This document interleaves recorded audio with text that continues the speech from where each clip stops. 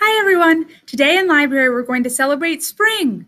I'm excited that spring is finally here, and I thought it would be fun to read some spring stories, starting with The Thing About Spring by Daniel Kirk. This might be my favorite spring story, or one of my favorites for sure. The Thing About Spring.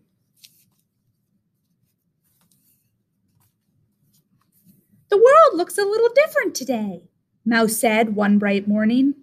It smells different, too, said Bird. There are buds on the trees and new colors in the sky, and I feel warm and happy. Me too, said Mouse. Spring is finally here. Hooray! Mouse and Bird hurried to share the good news with their friends. Rabbit was in the meadow, busy with a shovel and pail. What are you doing, Rabbit? Mouse called.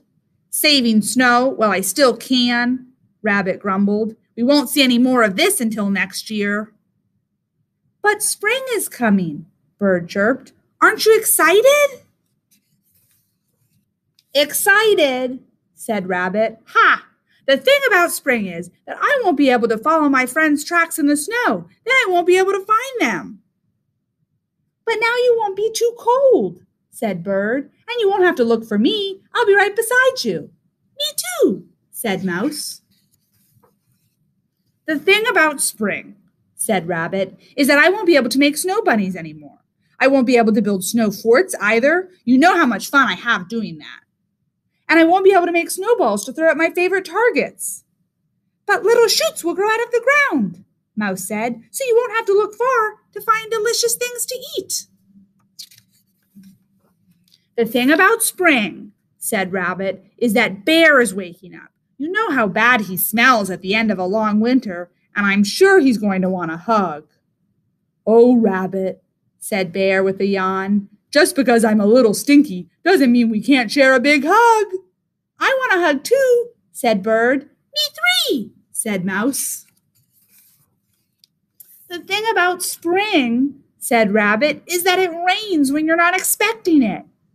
But rain brings out the flowers, said Mouse and the worms, said Bird. And it makes you clean, said Bear, and ready for more hugs. The thing about spring, said Rabbit, is that when the days get longer, the nights get shorter, and I am a cranky bunny when I don't get enough sleep.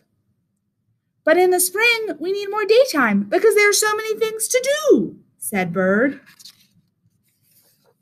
In the spring, I love to make loop-de-loops and race the clouds through the sky said Bird.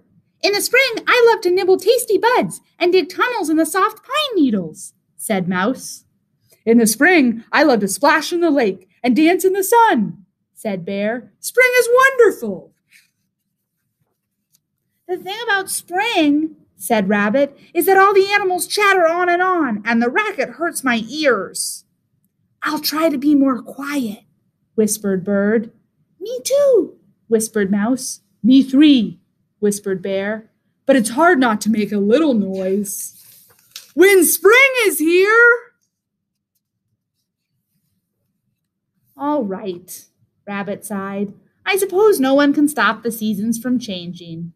But the thing about spring is that when I stop around so much and the sun is so warm, it makes me really thirsty. Me too, said Bear. I think we're all a little thirsty.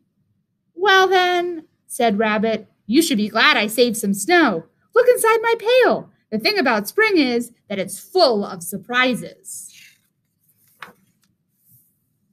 It's wonderful, Bird cheeped. Now that spring is here, the snow has turned to water. It's like winter gave us a present before it went away, said Mouse. I found some cups, Rabbit said. Dip in. It will be our last taste of winter. And our first sip of spring said Bird. Here's to spring, said Bear. I think it's going to be great. Me too, said Bird. Me three, said Mouse. The friends looked at Rabbit. Oh, all right, he said. Me four. Spring is here. Hooray! The end.